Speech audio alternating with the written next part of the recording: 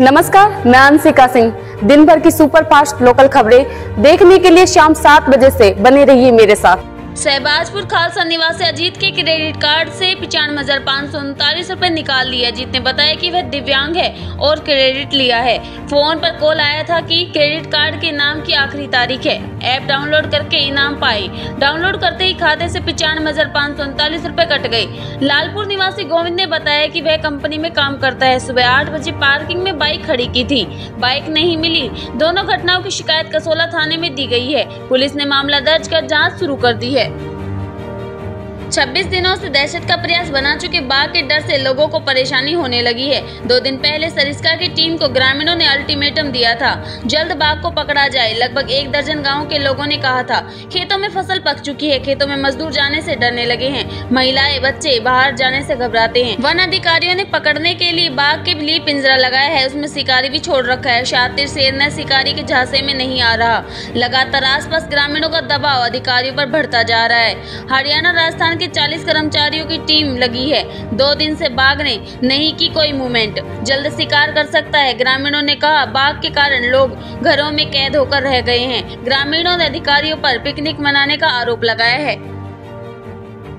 बावल निवासी ईश्वर महलावत को कांग्रेस जिला मीडिया प्रभारी बनाने पर बधाई देने वालों का तांता लग गया। देर रात सूची में ईश्वर का नाम आने से उन्हें लगातार बधाई दी जा रही है। प्रेस वार्ता में बताया कि आने वाला समय कांग्रेस का है। पार्टी बहुमत से सरकार बनाएगी। लोगों में बीजेपी के प्रति रोष है। जिला प्रभारी की ज़िम्मेदारी मिलने पर उन्होंने शीर्ष नेतृत्व और राष्ट्रीय प्रवक्ता टीना करमवीर का आभार व्यक्त किया है। उन्होंने कहा, जो दायित्व पार्टी ने सौंपा है, पूरी ईमानदारी से निभाएँगे।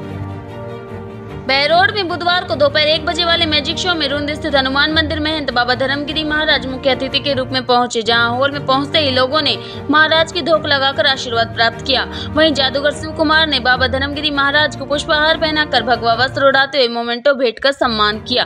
इस दौरान बाबा ने भी माला पहनाते हुए जादूगर को आशीर्वाचन दिए। इस मौके पर उनके साथ आए महात्मा मेहरगिरी महाराज, सुभाष नंदलाल, जम्मूराम आदि लोग मौजूद रहे। जादू शो में चमत्कारी कारना कारनामे देखकर दोनों महात्माओं ने जादूगर की जादू कला की भूरी भूरी प्रशंसा की। इस मौके पर दर्शकों से खचाखच भरे हॉल में तालियों की गड़गड़ाहट गूंज उठी।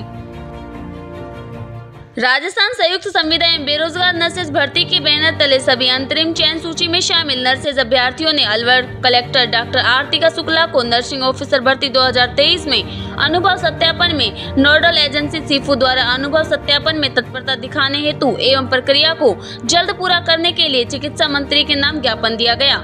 यूनियन के सदस्य अरुण शर्मा ने बताया कि नोडल एजेंसी सीफू यदि 10 अक्टूबर 2024 तक समस्त नर्सिंग ऑफिसर पद अभ्यर्थी के अनुभव सत्यापन कर अंतिम चयन सूची जारी नहीं की जाती है तो 15 अक्टूबर 2024 से सभी अंतरिम चयन सूची में शामिल अभ्यर्थी द्वारा जयपुर में स्वास्थ्य भवन पर घेराव करेंगे। एवं सीफू नोडल एजेंसी पर अनिश्चितकालीन धरना दिया जाएगा। इस क्रम में नर्सेस अभ्यार्थी देवेश कौशिक, हितेश यादव, राहुल कुमार, सुभाष चंद्र, चंचल शर्मा, कल्पना कुमारी, आकांक्षा उपाध्याय, दीपक शर्मा, राजपाल यादव आदि अनेक अभ्यर्थी उपस्थित रहे।